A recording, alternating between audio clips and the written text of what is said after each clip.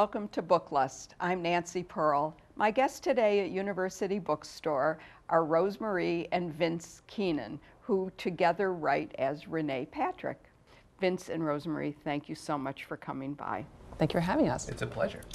I'm a big mystery fan. I love talking to mystery writers, and I'd love to know where the idea for this series began. And mm-hmm. while you're telling that, maybe talk a little bit um, about the series itself. Absolutely. Okay. Full credit for this idea belongs to Rosemarie. So I will take that full credit because it was my idea. Yeah. Um, so Vince is the managing editor of Noir City, which is the magazine for the Film Noir Foundation. And I decided I wanted to write an article for them about costume design in film noir. Because some of us who go to those film noir festivals, we're there maybe not mostly, but very much for the clothes, you know, the vintage clothing and the design. Um, and so I started researching costume design and found Edith Head and started reading about her life and just something about her career, which was 40 years at least long in Hollywood, um, made me say to Vince one day, you know what? What if Edith Head solved mysteries? It just kind of came to me. And then he said, I like to think I can recognize a good idea when I hear one, and I thought it was a fantastic avenue into exploring the history of Hollywood. Uh, costumes as a way of, of bringing any kind of characters that we wanted onto the page actors and directors and getting a sense of how movies were made, especially during the golden age of Hollywood when Edith started out her career. And so mm-hmm. I said, if you don't do this idea, I'm going to do this idea. So maybe we should try doing it together. I was I liked the idea so much. I was convinced that if we didn't do it, somebody else was going to. Uh-huh. And that's always a great impetus where you think, yeah, this this idea is too good. Someone right. will take it. Right. We have to do it now. now. Let's just get going. Yeah. Well, so so you began with the idea that Edith Head would be the the detective, or in her, but, but then where did Lillian Frost, who is um, I think it's going to be everybody's favorite in, in, in, these books. Don't you think she's so she's such an interesting young well, woman? We like her. We yeah. love Lillian. yes. Yeah. Um, well, when we started kind of talking it out and thinking about a plot and learning even more about Edith Head, it's like she worked like a mule. She was at the studio every day, six days a week. You know, 12 hours a 12 day. hours a day. And we thought, well, she can't be running out to the Trocadero to be chasing down clues. She needs some assistance. Um, and we and, were both yeah. we both grew up huge fans of Rex Stout, uh-huh. and we thought, well, an idea that works mm-hmm. for Rex Stout could work maybe for us. And so we, we we openly admit we patterned the whole thing on Nero Wolfe because we're such fans of, of, of those books. And Nero's the classic armchair detective, and we thought, well, by virtue of her job, Edith is also an armchair detective. What she needs mm-hmm. is a funny leg man, or in this case, leg woman, and mm-hmm. that's Lillian. Right, and so yeah. Lillian can run around town and find clues and. Yep. Yeah. Well, we love the idea of, of Lillian as a character who, like so many other women of, the, of that period, went out to Hollywood to, to, to, to make their name. That was really common then, the whole notion mm-hmm. of the screen tests. Right. Oh, right. you win a contest and yeah. you get sent to Hollywood and right. you see if you can become the next, you know, Norma Shearer or somebody. Right. Yeah. And so in the first book, Design for Dying, that's when we learn a little bit about Lillian's backstory and how she came to Hollywood and um, lived in a rooming house with other young women who also had designs on uh, making it in Hollywood. Making it, yeah. becoming famous. Yes. Not at all influenced by Stage Door, by the way. Right. and so, and I was going to say, like Nero Wolfe, and those novels are told by Archie Goodwin. Mm-hmm. These are told by Edith Head's leg woman, uh, Lillian Frost. Right. We really yes. wanted to get into Lillian's life and how she saw things. Um, and as, as Vince always says, we're looking at it's kind of a female-centric view of Hollywood in those days, which I feel like you really don't see that much. Right. So. Edith affords us that opportunity because, um, fairly unusually for the time, I mean, she was a high-ranking woman executive at a major studio in the in, starting in 1938 when she was she officially got the job and then stayed at Paramount until 1967 and then ended, ended up at Universal. And so she's, she's a great avenue into exploring uh, what, what it was like for women working in Hollywood at the time. Yeah, I was going to say one of the one of the things that I that I really enjoyed about these books was how much history, how much Hollywood history there is in these books. And I, uh, how much actual research did you did you do? I mean, We like to think we've been researching these books all our lives. For your life, for Because Yeah. we've been. This is it's an excuse for us now to watch movies we would have been watching anyways. Well, now it's work. Oh, it's- this Yeah, is right. all research, research, grist for the mill. right. And I've always been a big fan of like showbiz biographies, and so that was just digging a little bit more into that. And of course, Uh-huh. then then we did some pretty intensive kind of on the ground research in Los Angeles. Oh, that must have been really hard. yes, really a we're still not recovered from it. It's so difficult. Right, right, right. But I, we started with um, Edith's own papers, which was an absolute revelation. She will, she left her estate to the Academy of Motion Picture Arts and Sciences, and all of her personal correspondence is at the Margaret Herrick Library in Beverly Hills. And so we have set up camp in that building more than once mm-hmm. and just gone through her entire life, which is is always a treat for us. I mean, to go mm-hmm. through the papers and and pick up a letter that she was sent by Alfred Hitchcock, knowing that Hitch signed it and that she took it out of the envelope, and then to just hold that in your hands for a moment is is that's always going to be a thrill for us. It's amazing. There were letters back and forth between her and her husband with like, pressed flowers in them, and just. Oh. Yeah, So, so kind of she did the great. costume design for North by Northwest and those, those. She did. She Hitchcock- did s- a number of, of Hitchcock movies. They had a very long collaboration that started in the 40s and went all the way up to um, his last film, Family Plot, in Plot, right. 1976. So she did the birds and Vertigo. Vertigo. Yeah. And To Catch a Thief, which arguably I think is maybe Edith's greatest achievement. I know she she always prized that as the the best work that she did in movies because she loved Grace Kelly. Grace Kelly was mm. extraordinary wearing clothes. I mean, I, Right, it, it sounds odd to say that that's a skill, but it is, and she had it, and Yeah. the, the costumes in that are just Yeah. breathtaking. Yeah.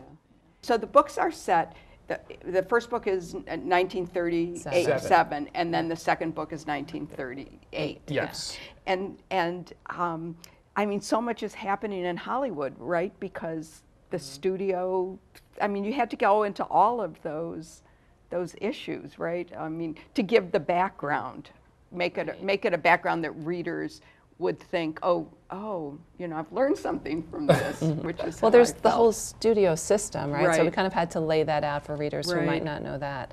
And then Edith herself was having issues in her career Yeah. where her, her boss's position was tenuous and she was worried, well, if they kick him out, then what about What's me? Do I go with her? him? Yeah. It wasn't necessarily true that she was just going to get promoted into his job. So she had some tension there in her career. we deliberately wanted to pick uh, to start the series at a time when Edith Head wasn't really Edith Head, the, th this famous figure. Um, she hadn't won any of her Academy Awards yet, uh, and was basically convinced that she was going to be back doing her original job, which was teaching. She started as a teacher, and um, sort of lucked into a job at, at Paramount as a as a start originally as a sketch artist, and then worked her way up through the through the ranks. Um, and we were fascinated by that career arc. That's the thing about Edith that always amazed us is that if you look at all of her contemporaries, they all had these fantastic pedigrees where they were designing gowns for Ziegfeld girls and wedding dresses for socialites. And Edith grew up in Searchlight, Nevada. Her father was a mining engineer and had mm-hmm. no exposure to glamour growing up, and then got a job teaching. Was actually teaching Cecil B. DeMille's kids, among among other things, and got a job at Paramount because it paid better. Right? She's just looking for kind of Yeah. a year-round position. right, it's like, right. well, I can kind of draw, so let's see if I can get in there. Yeah.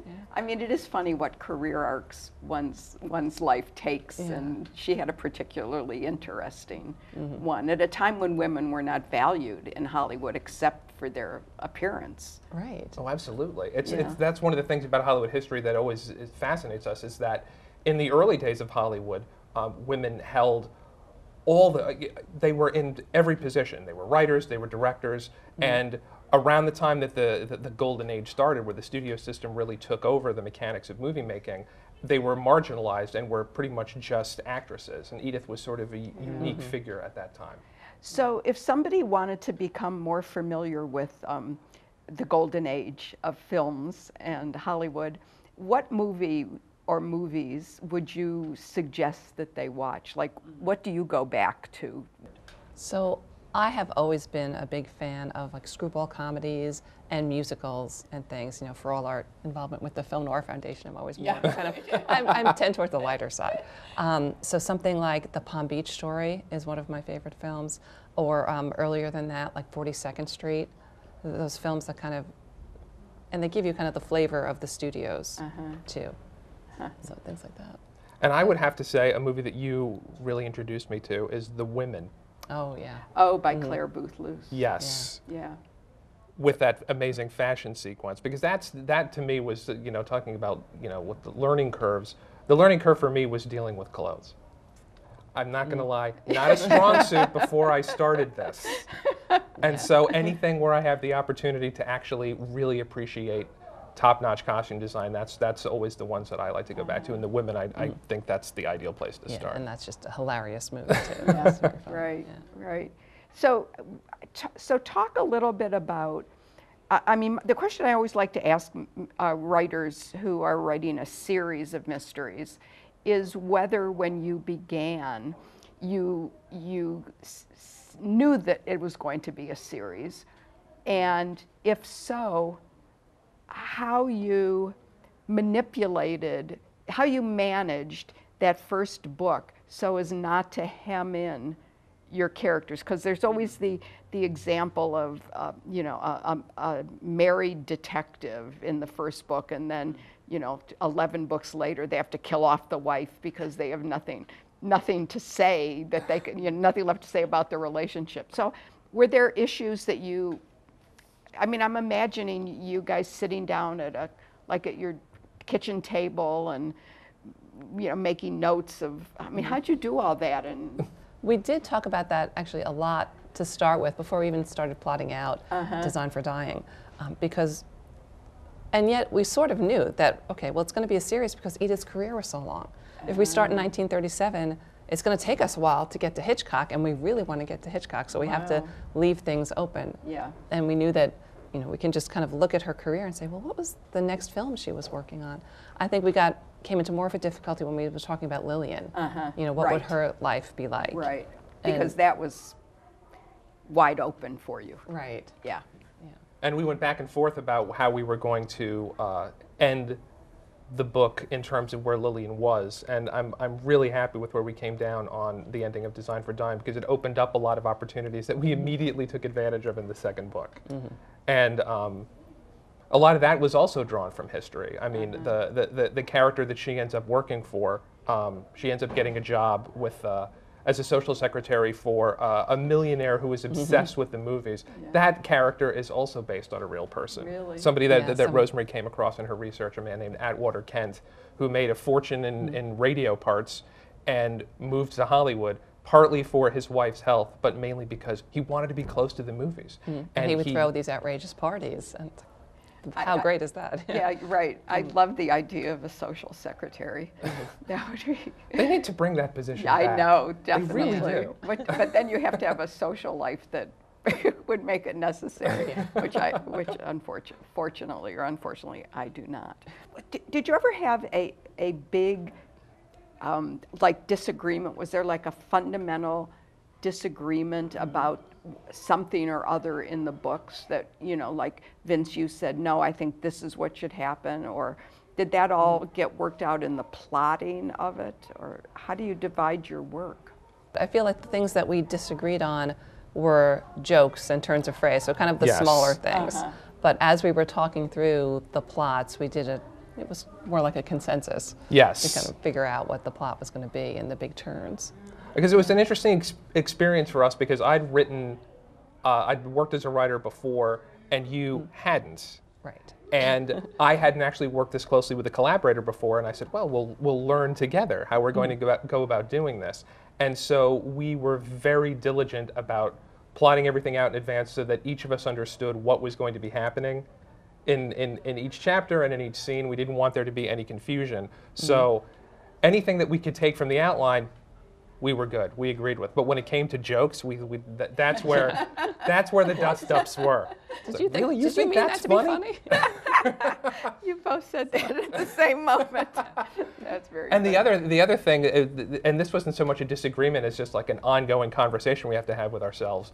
um, are people actually going to get these references? Because we're so steeped in, in old Hollywood, and we want to throw in references that, that other people, like people like us who have Turner Classic Movies on around the clock, uh, That they will get, appreciate. yeah. But you also want to make it accessible to, to, to those who are just kind of being introduced to this world. And sometimes we'll think, wow, that's, that's fairly inside baseball, that joke. I don't know if we could leave that one there. But we did want to sprinkle it with cameos or shove Yeah. it full of cameos. I don't know, it depends on how Right, you look right, at it. right. Um, so we've got Martha Raye in there, and for people who know she, who she is, I think that would be funny. But we also tried to describe her enough that if you didn't know her from movies or TV, you would still think that the scene was amusing. Right. it's just such a different era in Hollywood. Like you were talking about the, the notion of the studio system and the sense that you worked at a studio and you, you went there and basically clocked in. Like it was, you know, a department store job, or yeah. an office, and that there was a little community there, and that you saw the same people there, and there were little cliques in the in the, in the commissary. It mm-hmm. was it was just so fascinating to us, and it's not at all the Hollywood that people are familiar with today. Yeah. And so the chance to kind of travel back in time and, and, and be in that world a little bit was, was a treat for us.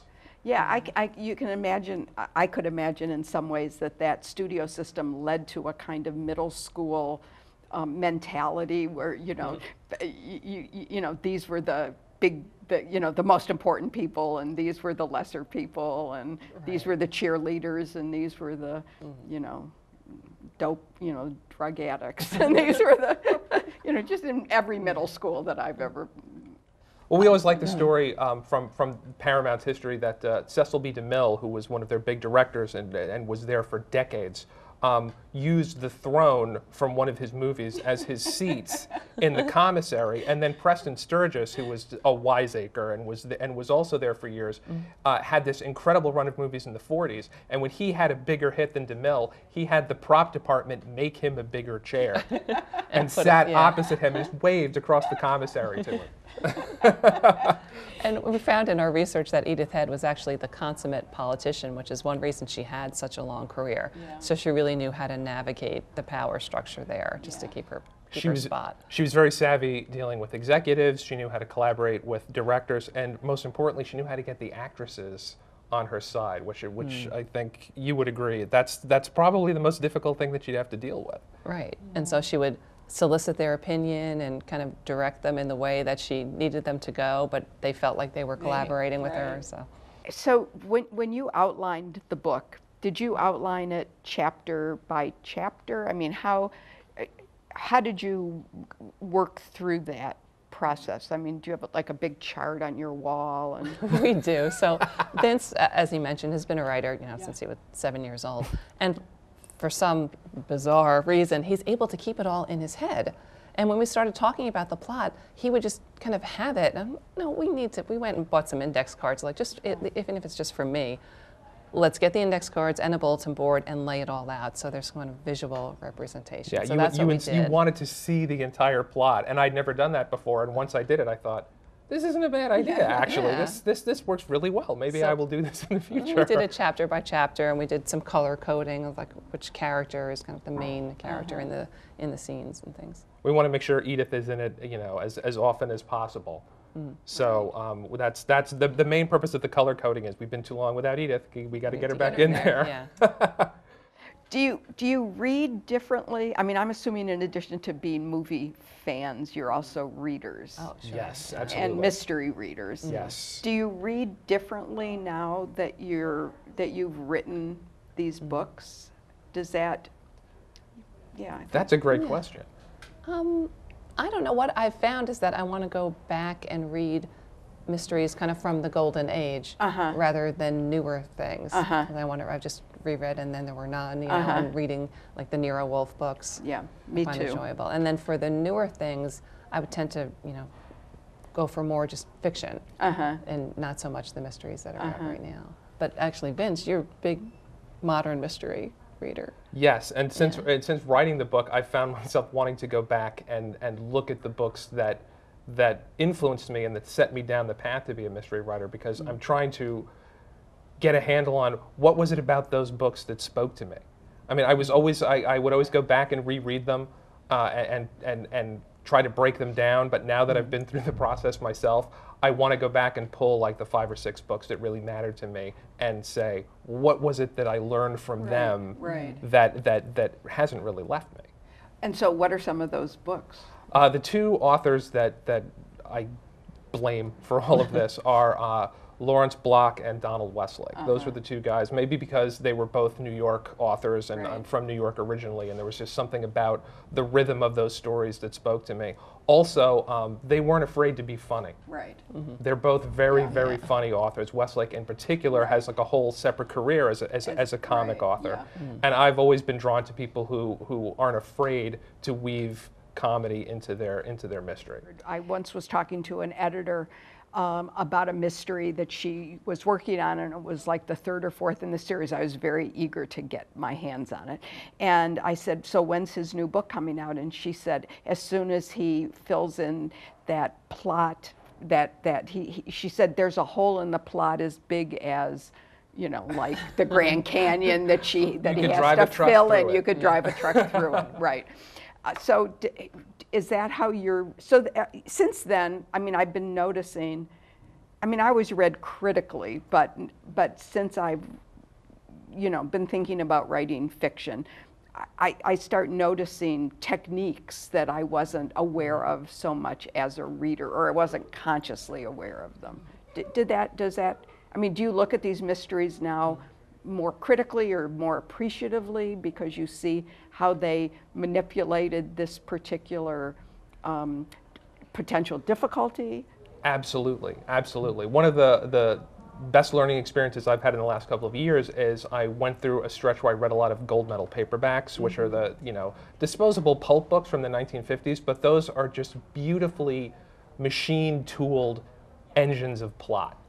And I, I'm actually one of those people who think that a, a plot is one of the reasons why people enjoy reading books. You actually want to be surprised by what's going to happen, and they do a perfect job of setting things up and paying them off. And I went through a period where I read nothing but those for about six months, and I felt like after going through that period of study, I understood plot in a way that I hadn't before. Uh-huh.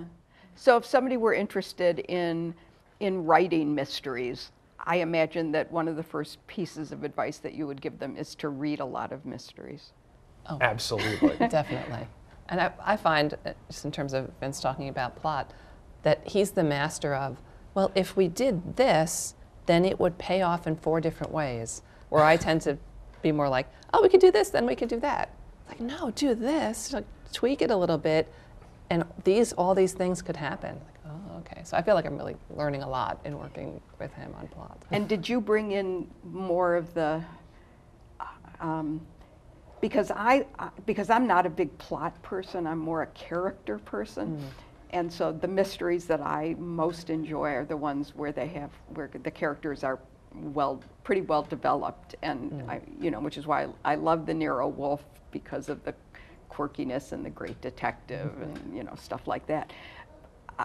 In in the fiction that that you read, Rosemarie, do you is it character driven fiction that you particularly? I do. I just finished reading um, Lillian Boxfish Takes a Walk. Oh Have you yes, read that? I have. And just to me, just being inside somebody's head and hearing about their life it is I, I love that, and I love that we we decided to do Lillian in the first person. Yes. You know, because we can really just have be right there with her feelings. Right. Yeah. Yes. And Lillian Boxfish takes a walk is um, it's it covers much of the same Yeah. period and the mm-hmm. same um, the same struggle that women had and mm-hmm. success that women had at that time. When I heard what it was about, I was like, I have to read that. right. Gonna- yeah, it's a lo- that's a on that. lovely book. Yeah. A lovely book too. So who does the actual writing?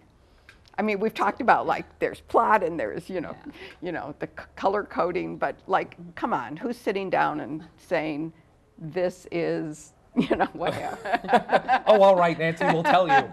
well, actually, it's different for the for the two books. Well, since Vince had been a writer and I hadn't, I insisted with the first book. I need to write the first draft because I need to know that I can do it. Yeah. Um, You, you wanted I- actually that sense of, of accomplishment to say, I took it from start to finish, right. which I completely understood. sure. Yeah. And we it, worked it, out it worked plot. out Yeah. because at the time I was uh, working at a video game company, and so I was gone several nights a week, and it was it was actually Mm. the perfect setup because you could come home from work and And then it freed just, up my time completely. Yes, let's so. not forget that you like work full-time. Yes. Yes. right. So it was kind of fitting this Yeah, in like- evenings and yeah, weekends and vacations. Right. Um, so I wrote the first draft and showed it to Vince, and I said, the second draft's going to be even better. which I thought was nice. But I was Oh, really that's ni- a I was good- really that's nice about it because what I mean was. it was it was it was a huge accomplishment and the characters were there. I mean it's it's Rosemarie's idea, it's Rosemarie's world. She knew so much about the history of this period. She knew who Lillian was. She knew who so many of the other Mm-hmm. characters were. And um, what we decided to do was uh, we had talked through the first draft and she said I want to do another draft entirely by myself, Uh-huh. which you did. so I did, and then I gave it to Vince, and then he worked through that, and at the end, we felt like we had the Renee Patrick voice. It, it took the three drafts, but then at, at that point we realized we kind of synthesized our points of view and created this other one that was that was Renee, and um, just let her take over. Well, there's a mystery series by a woman named, um, by two women who write as Emma Lathen, and, and they write, they take turns writing the chapters. Yeah, a lot of I feel like a lot of um, co-authors do Uh-huh. that, and that has just hasn't been our experience when it came to Dangerous to Know, because we had a timeline at that point. Right. So for the first book, you know, nobody was waiting for it, so we took our time. Right. Um, but for that book, Vince wrote the first draft, Uh-huh. and then we went back and forth. We had to re- we had to we had to reverse the process because again you have a day job, Right. and um, it was it when the book was we had one year to write the book and we said okay if I start it now we can we can do it we can use the same process but we each take on the other role. Yeah. But by then we already knew what Renee sounded like, and so. So it just went. Except for the yeah. clothes part, because there were still huge sections of Dangerous to Know where there were paragraphs that said dress goes here. Uh-huh. And then I Because filled it in. I do not want to describe the clothes. That is not my Very- field of expertise. Oh, that's great. Well, you guys, it's just been a pleasure talking to you, and thank you mm-hmm. again, and good luck with the second book, and I'm already looking forward to the third one. Thank So, Thank you so much. thanks.